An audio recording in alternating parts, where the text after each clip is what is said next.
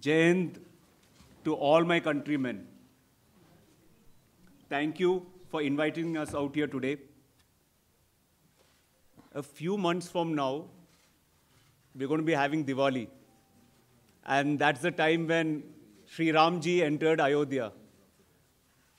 Over here right now, to the Ram that is Shuks, if I can call myself Lakshman, it feels like there's Diwali here today when all our countrymen are here to receive us. But remember, even though I'm elder to Shuks, I would love to be Lakshman to this Ram any day. That's how professional he is. But remember, even Sri Ramji and Lakshman got a lot of help from the entire Vanar Sena, that is our fantastic ISRO team. Thank you, Hanuman and team, and also from the Devtas, the entire gang out here. Otherwise, it would not have been possible. Also, the entire experience when we were there, I can just sum it up in Sat Chit Anandam. What is Sat? Satyam. Satyam Shivam Sundaram. Satyam, the truth. The time of Bharat has come. There's no doubt about it. Whether it's technical prowess, whether it's industry, whether it's a Josh, our time has come. It's no small feat what the chairman has listed out till now.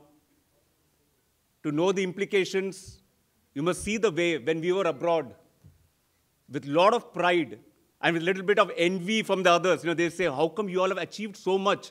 And that too with a lot of humility. So that's the Satyam part of Sat. Chit, that is Shivam. Whenever Bharat does something, we make sure that everyone benefits. That's the consciousness we have because we believe one is everyone.